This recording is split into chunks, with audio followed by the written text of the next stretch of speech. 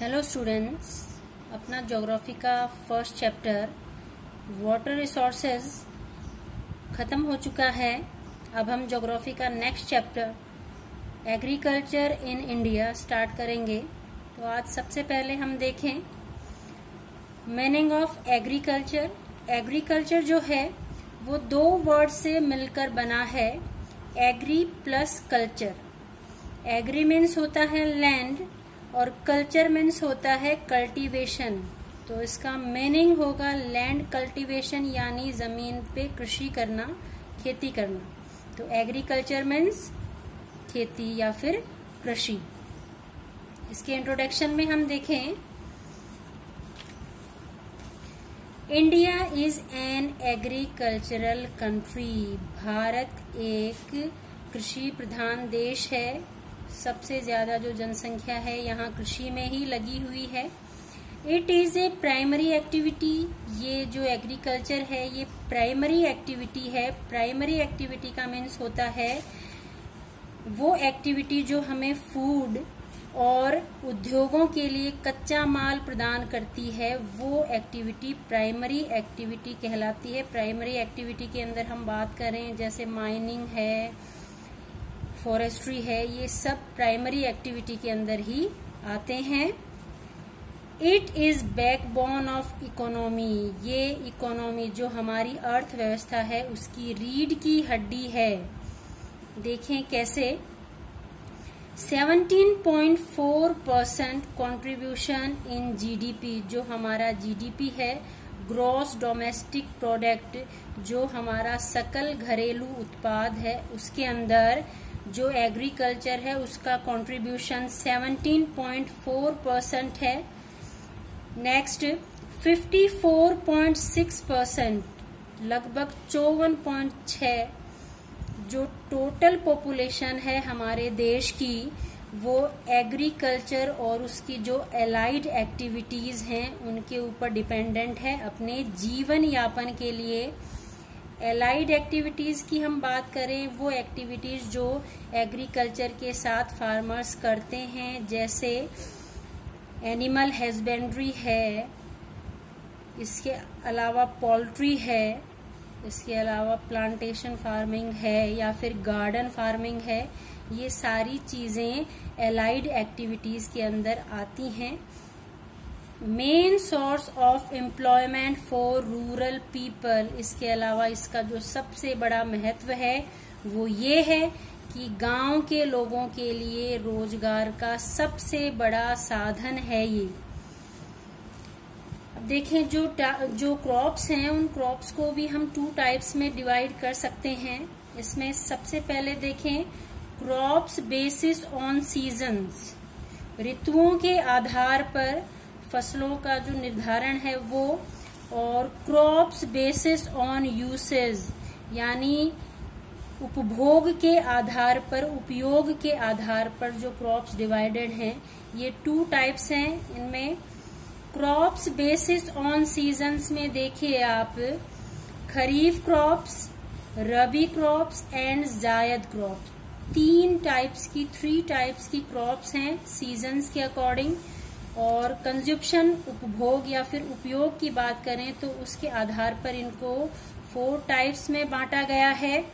Food crops cash या फिर इसको हम कमर्शियल क्रॉप्स कहते हैं plantation crops garden crops food crops यानी वो क्रॉप्स जो हमें खाने के लिए अन्न प्रोवाइड करवाती हैं।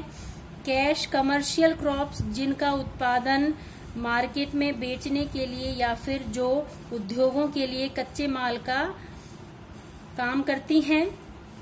प्लांटेशन क्रॉप जैसे टी है, कॉफ़ी है, स्पाइसेस है, उनको हम प्लांटेशन क्रॉप्स कहते हैं और गार्डन क्रॉप्स होते हैं, फ्रूट्स और वेजिटेबल्स यानी हॉर्टिकल्चर, वो गार्डन क्रॉप्स में आते हैं।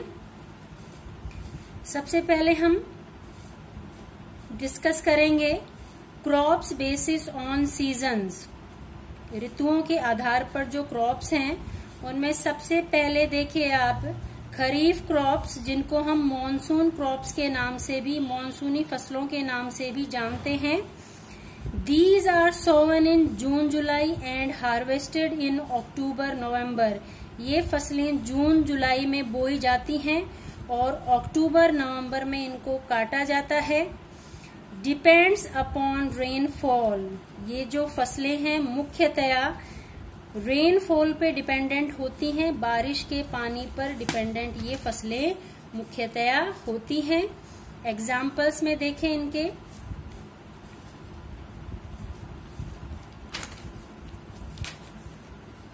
Rice maize millet groundnut moong urad sugar cane चावल, मक्का, बाजरा, मूंगफली, इसके अलावा जो दालें हैं, मूंग है, उड़द है, और इसके अलावा जो शुगर कैन है, गन्ना, और भी बहुत सारी फ़सलें हैं जो खरीफ क्रॉप में शामिल हैं। ये मेन जो क्रॉप्स हैं, वो हैं। रबी क्रॉप्स की हम बात करें।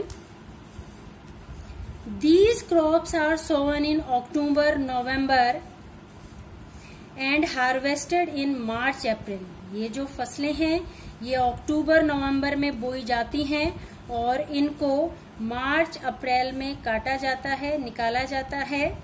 These crops require warm climate for germination of seeds and cold climate for the growth इन फ़सलों के लिए जर्मिनेशन जब बीज बाहर आता है जर्मिनेशन होता है सीड का उस समय वार्म क्लाइमेट यानी गर्म जलवायु चाहिए और जब इसकी ग्रोथ होती है, उस समय जो मौसम है, वो ठंडा होना चाहिए।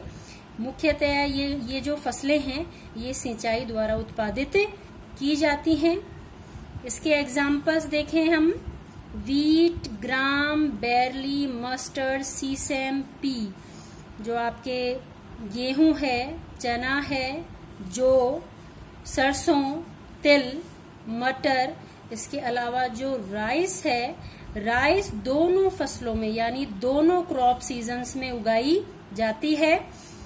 नेक्स्ट देखें, जायद क्रॉप्स ये जो फ़सलें हैं, ये रबी और खरीफ जो क्रॉप सीजन्स है, उनके बीच के समय में इनको उगाया जाता है।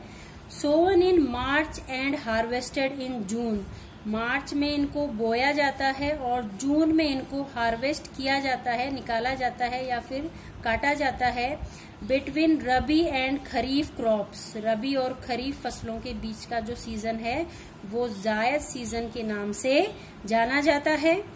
These are early maturing crops ये जो क्रॉप्स हैं, ये बहुत जल्दी मैच्योर हो जाती हैं, बहुत जल्दी तैयार हो जाती हैं। इसके एग्जाम्पल्स में हम देखें तो मोस्टली जो आपके वेजिटेबल्स हैं, वो इसके अंदर आते हैं और इसके अलावा फ्रूट्स जैसे वाटरमेलन है मस्क मेलन है, ये इसमें, इसके एग्जाम्पल्स में शामिल हैं। Watermelon cucumber muskmelon and vegetables तो ये सारी की सारी जो हैं, ये जायद क्रॉप्स में शामिल हैं। अगला जो क्लास होगा, उसके अंदर हम क्रॉप्स बेसिस ऑन यूजेस पे बात करेंगे। थैंक्स।